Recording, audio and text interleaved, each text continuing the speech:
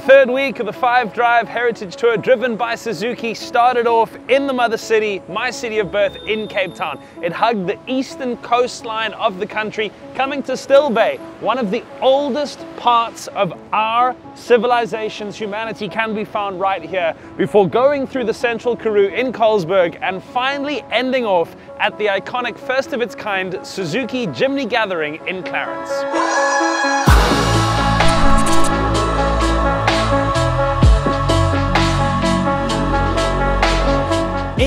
In Town, officially kicking off the last week of the Heritage Tour. We've oh. traversed all nine provinces of the country and we're all behind the wheel of our new Fronx, which we're very oh. excited about, our brand new car. Yeah. Yeah.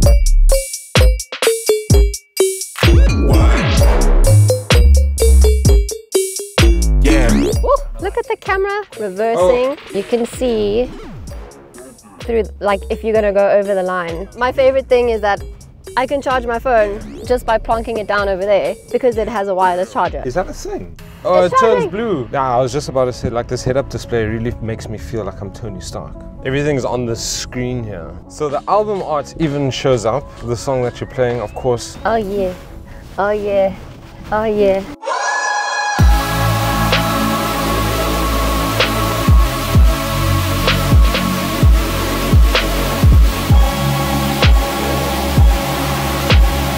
This is where we are, and also we have on the third week of the tour uh, come to the end of a big week of firsts for many of us. It was Yonaka's first time on television this morning. Shout out to the Expresso show for having us. We are here on the set to do a show with Expresso. It's about to be so lit. Espresso's happening right there, so we have to silence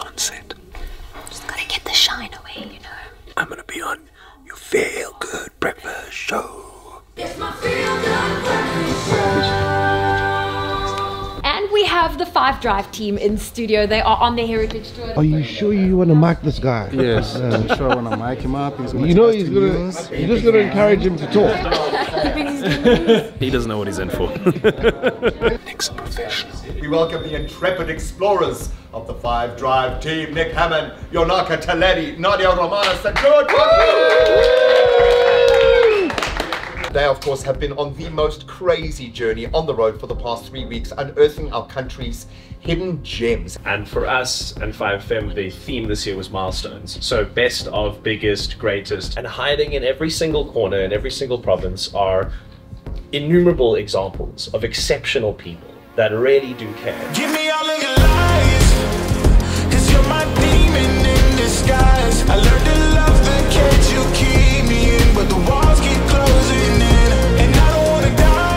die. Onto the beach. Feeling the sand between your toes. I feel the sand between my toes. So much work before you even. I'm sweating my makeup off. When you paddle, you always paddle cup hands. And when you pop up, first of all, you can just feel. When you press up like this, how does it feel? Paddle, paddle, paddle, paddle. Hands in line, and pop up. I can't pop. We'll pretend like I pop. Yes, so welcome to Nine Miles Project. I grew up in this community, and um, of course, we have our own challenges, you know, gangsterism, drugs, and everything like that, the scourge that has happened. But surfing kept me away from those things. We're busy with lives and purpose and destinies here, so we're busy with trajectories of these kids' lives. But the safe space is the ocean. Uh, these kids come here and for once when they paddle out and they learn to surf and all their problems are on land. But out there, they're free of that. How they get access, you need to write a letter. Why you want to belong to this project, what you want to change in your life. Because through writing, reflection comes.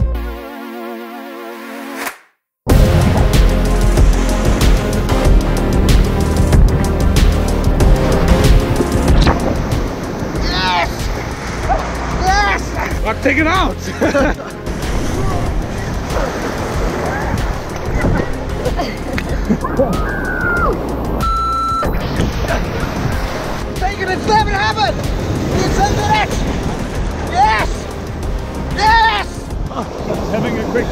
Saiu.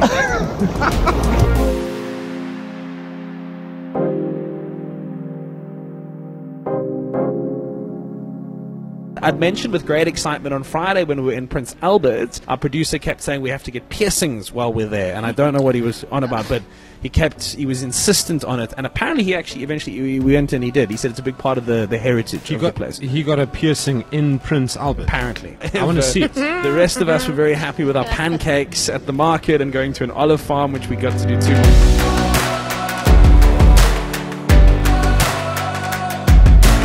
Well, if you if you look at this, here you can see um, this is a very sensitive time. The olives are, are making shoots, so these ones will, will hopefully open up within two or three weeks. In a good season, I think you can get anything from from 10 to about 25 kilos of olives from this tree.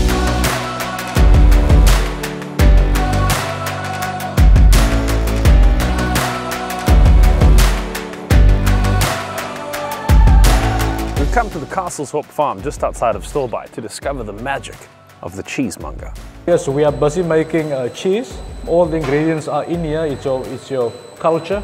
My hands are, are clean, so I'm just gonna feel so that you show this is how it looks like for now, and that is uh, creating the texture of your cheese. So everything is being done by hand. They cut the cheese by hand, put it in bags, then seal it, label it by hand, and yeah. Okay, this is what we call our our um, in Afrikaans we call it sout buttons. So the, the cheese is uh, uh, uh, uh, extracting salt from the water until it is satisfied.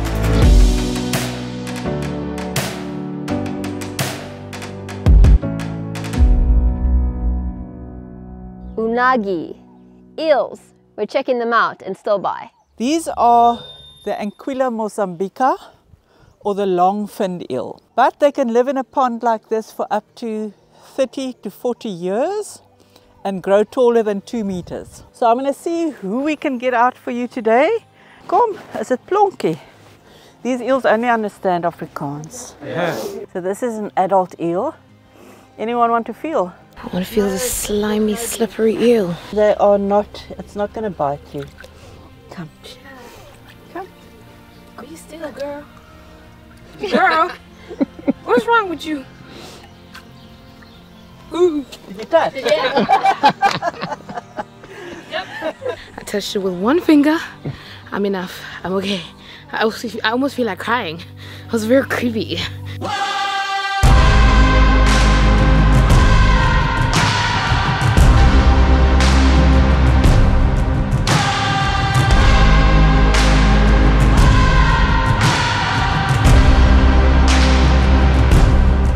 Knysna Elephant Park stands exactly for the elephants which have roamed this region for many decades. Why are elephants so special to you? You can't rule out their intelligence.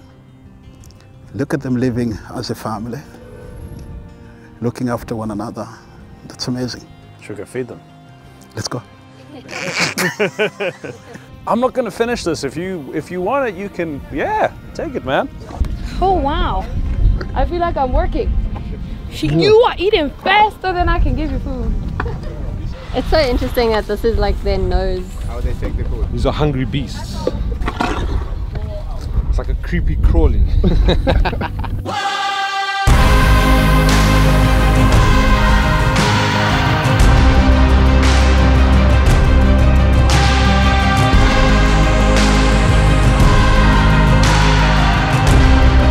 And once again, there you have it, South Africa, the seventh annual edition of the Five Drive Heritage Tour, once again driven by Suzuki.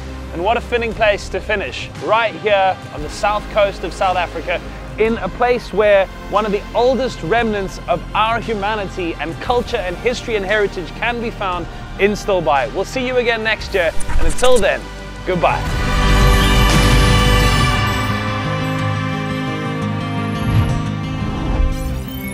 This is 5FM.